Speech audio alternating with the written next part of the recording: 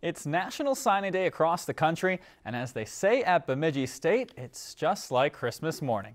35 student athletes put pen to paper for the Beavers today, who look to build on the team's recent success.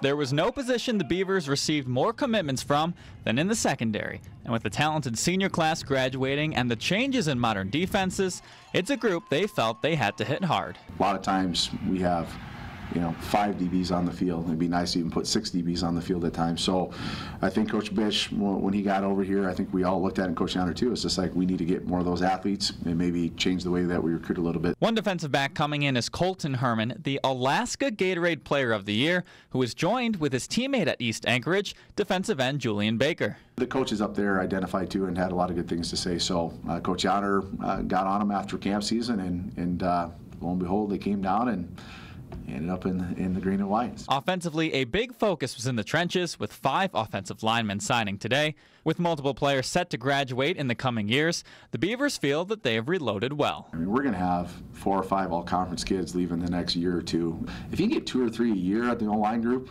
and then hopefully get some, you know, walk-on guys that can fill in and go. But uh, ever since Coach Scholzen's been here, I think we've put more resources, number one. We've probably offered more alignment and put money into it.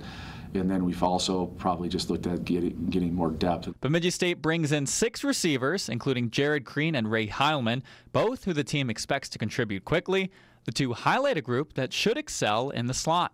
I wouldn't say that we were looking to take three slots or, or those type of guys, but they're just the best available at that time. So, you know, we have some taller receivers. Last year's group was probably a little bit bigger, you know, 6'2", 6'3", 6'4 receivers, it seemed like. So it balanced out this year. The Beavers always emphasize hitting their own backyard, and with 16 coming in from Minnesota and 11 from Wisconsin, the Beavers certainly accomplished their goal. It might be the the most talented Wisconsin group that we've had. And last year, I thought our, our, Minnesota kids were just phenomenal. So, and the best part of last year's recruiting classes are here. The kids are working, and, the, and that group is going to show up on the field a lot. And just like I would assume this 2019 group will do as well.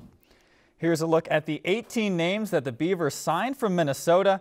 And if you're looking at this list and saying, hey, I know a few of these names, well, you're probably right. If you enjoyed this segment of Lakeland News, please consider making a tax-deductible contribution to Lakeland PBS.